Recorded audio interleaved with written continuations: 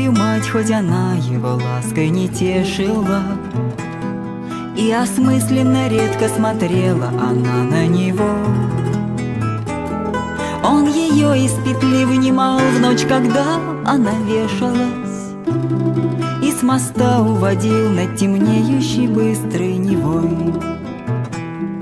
Он бутылки сдавал, он овсянкой кормил ее с ложечки и окурков консервные банки всегда выносил. Он жалел свою мать, и он верил, что все-таки Божечка Не допустит, чтоб душу ее сатана погубил.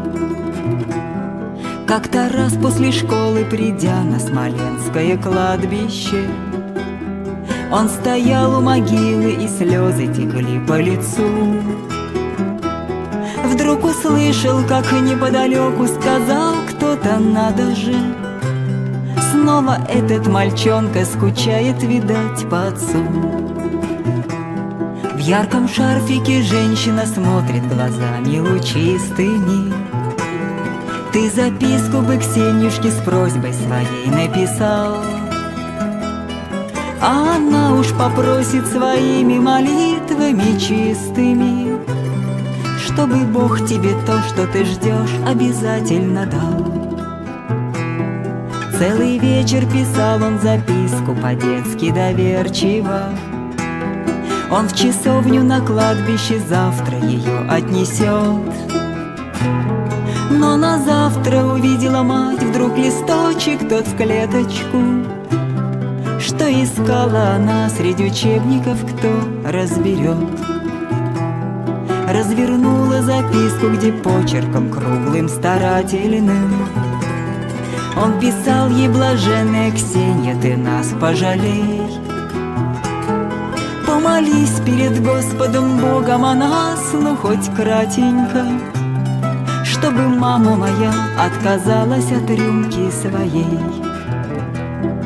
Ты ему передай, коль исполнит мое он желание мне за это не жалко и жизнь свою будет отдать.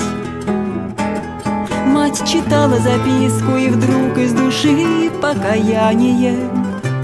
Стало жгучей слезой на глазах у нее проступать.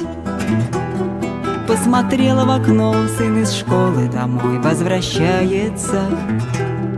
Он глядит на нее и с улыбкою машет рукой только вдруг, как во сне, в ее сына машина врезается.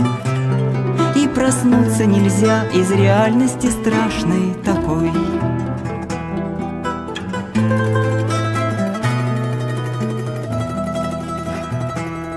Вот уж месяц прошел, и как в детстве везет на колясочке.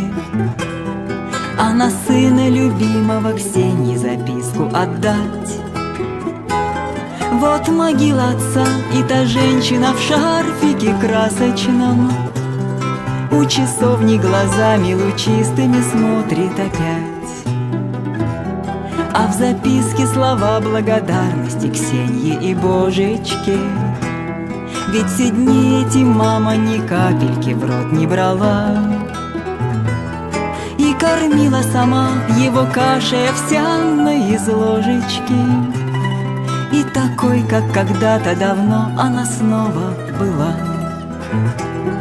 И кормила сама его кашей овсяной из ложечки. И такой, как когда-то давно она снова была